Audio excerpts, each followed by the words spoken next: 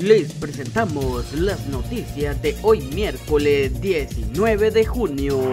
Fiscalía contra la trata efectúa allanamientos en Rabinal, Baja Verapaz. Ministerio Público lleva a cabo dos diligencias por fortalecer investigaciones relacionadas con el delito de trata de personas. Reportan tráiler varado en el kilómetro 47 ruta al Atlántico. Brigadas de Provial informan que Cabezal presenta fallas mecánicas en la CA9 Norte, por lo que obstruye el carril derecho. Fiscalía contra las extorsiones lleva a cabo allanamientos en Villanueva y Fraijanes. El Ministerio Público desarrolla dos diligencias de inspección y secuestros de evidencia en inmuebles ubicados en Villanueva y Fraijanes Reafirmamos nuestro compromiso de velar por tu seguridad. La Brigada de Infantería de Marina del Ejército de Guatemala realiza operaciones de seguridad en el muelle municipal y en el centro del municipio de El Estorizabal, garantizando tranquilidad a los guatemaltecos.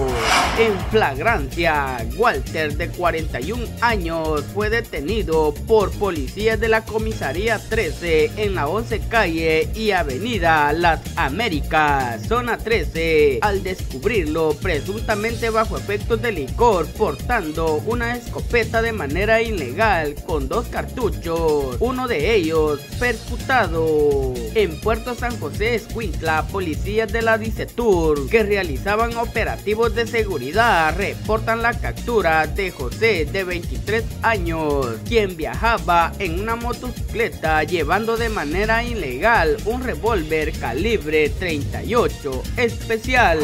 Bukele y la ministra argentina Buric se reúnen en privado. Las dos autoridades intercambiaron sus experiencias en temas de seguridad y lucha contra el narcotráfico. Corea del Norte y Rusia firman acuerdo integral de asociación estratégica. Vladimir Putin afirma que el documento incluye la asistencia en caso de que uno de los dos países resulte agredido. Para más información visita nuestra página isabalensetv.com. Desde la ciudad de Puerto Barrio reportó Orlando Ramírez para Isabalense TV y Radio Feilo.